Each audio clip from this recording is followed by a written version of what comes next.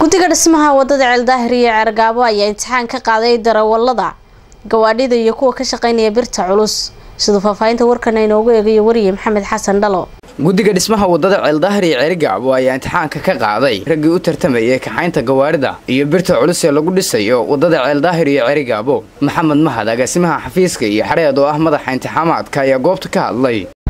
Waxaan rabnaa halkan inaan idinku soo bandhigno imtixaan laga qaadayay dureewallada mashruuca dhismaha waddada ceeldaahir ceeragaabo dureewalladaas oo isugu jira dureewallada baabuurta culus iyo baabuurta qallaabyada ee caadiga ah. Imtixaankan oo soo bilowday bishii siddeedaad oona soo maray maraaxil kala duwan waxaana soo codsaday ilaa dad gaaraya boqol iyo labaatan qof.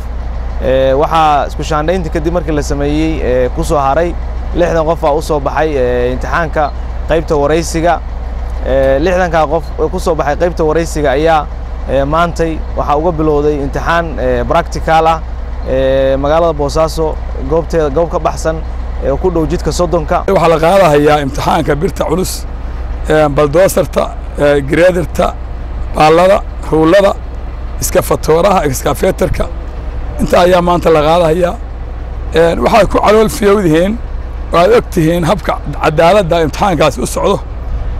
Anigu waxaan ku hadlahayaa madaxa jief operator mataqaan jief operatorka ama ninka birta culus markaa isagu hagaaya mataqaana imtixaanka. Jenaraal cali ismaaciil iyo garaad maxamuud kulan oo ka tirsan mas'uuliyiinta dhismaha waddada ceeldaahir iyo cerigaabo ayaa ka sheekeeyey marxaladihii kala duwanaa ee la soo maray. Waxaa la qaaday gaadiidkii fududaa oo iskarogayaashii iyo weyshii iyo wixii la mid aha gaadiidka noocaasa. Maanta halka goobjoog waxaan ka nahay insha allah birta culus oo teknikada ah in aanu insha allahu halkan imtixaanka laydinkaga qaado intii ku guulaysatana aanu haddii waxay ila tahay intiina kaleeto aan ku guulaysana u hambalyaysaanin imtixaanku waa la socotaanoo haddee laba nin kama wada farxiso.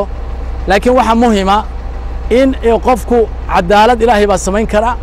Laakiin inta u dhow in loo dadaalo intinkuna waxay ila tahay taa markhaati baa ka tihiin shalay goobjoog waxaan u ahayn markiiba gaadiidka fudud laga qaadayey idinka ayaa u saxbinayey oo baasgaraynayey ninka dhacay iyo ninka baramoosay sidaad og tihiin maalintaa waxay tahay maalintii labaad aan imtixaamaadkii wadno mashruuca waddada ceeldaahir ceerigaabo shalay soddon iyo afar baynu imtixaankii ka qaadnay si sharaf badan oo qiimo leh bay arrintaasi u dhacday.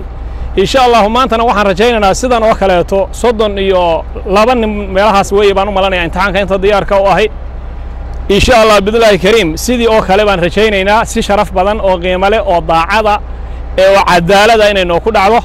Mashruuca sida odayaashu sheegeen woo sii socon doonaa. Waxaa lagu niyad samaanayaa dadka inta aan maanta aanay u suuro gelin inay shaqadan ku guulaysato. Shaqooyinka dambe insha allahu baanu u rajaynaynaa. Maxamed xasan s b c boosaaso